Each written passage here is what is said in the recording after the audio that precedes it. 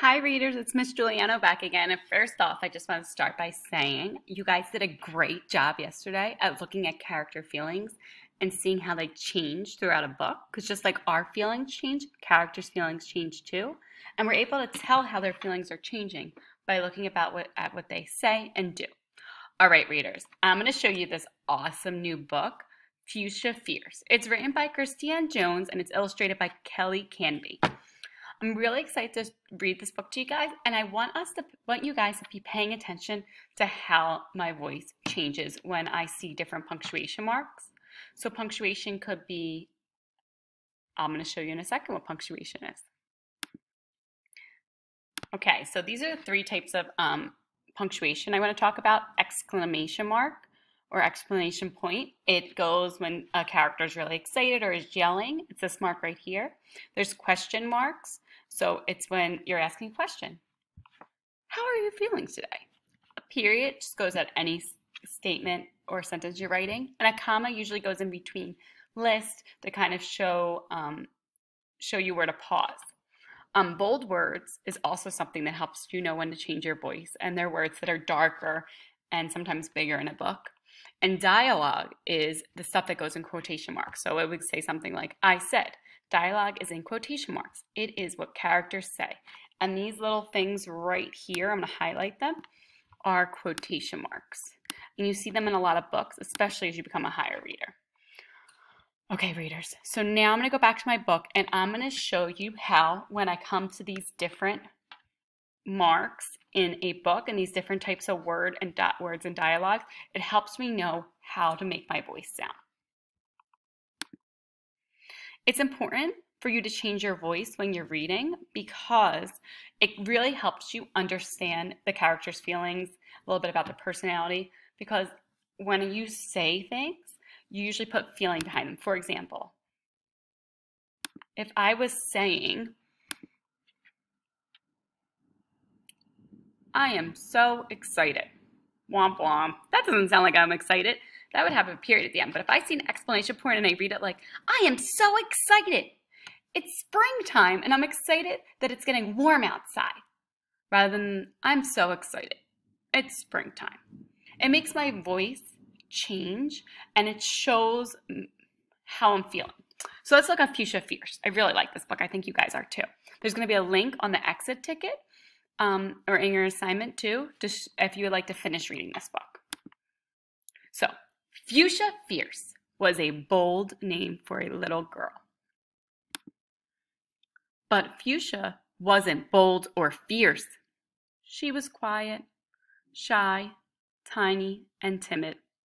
She was scared to try new things or stand out in a crowd.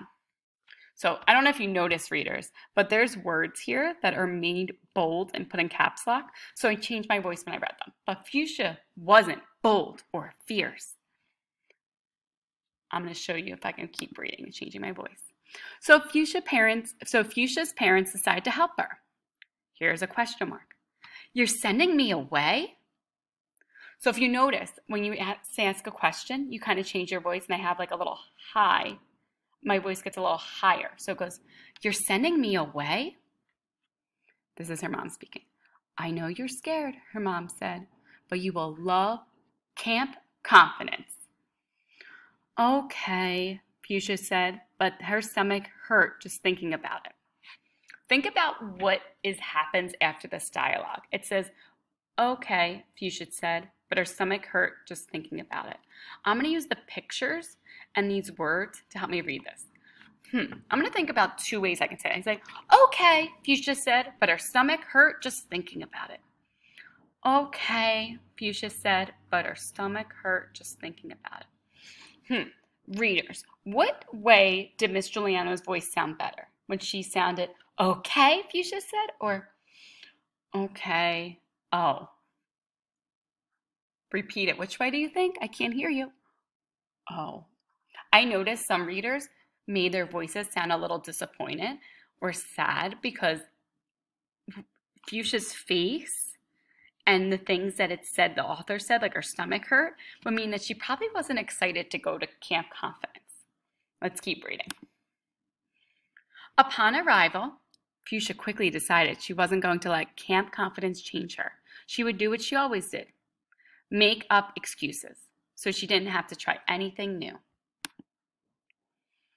For a while, it worked. Fuchsia, it's time for swimming. I forgot my swimsuit.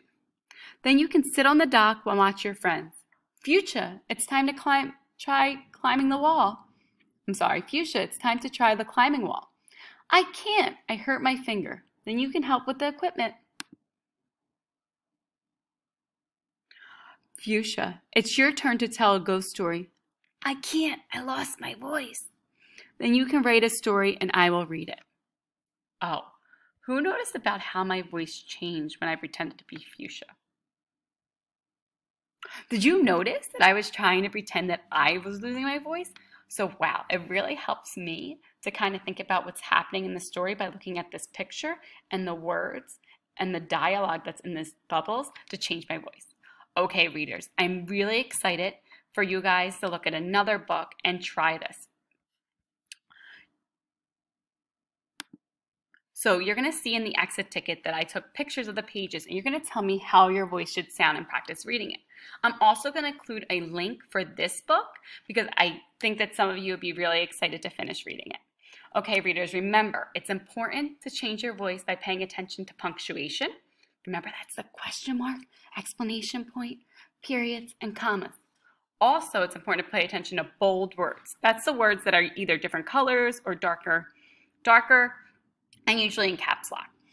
That means all big letters. Also, the dialogue. That's the stuff that they're saying. So it could be in speech bubbles or in quotation marks. Remember, quotation marks are these things, the ones that I highlighted.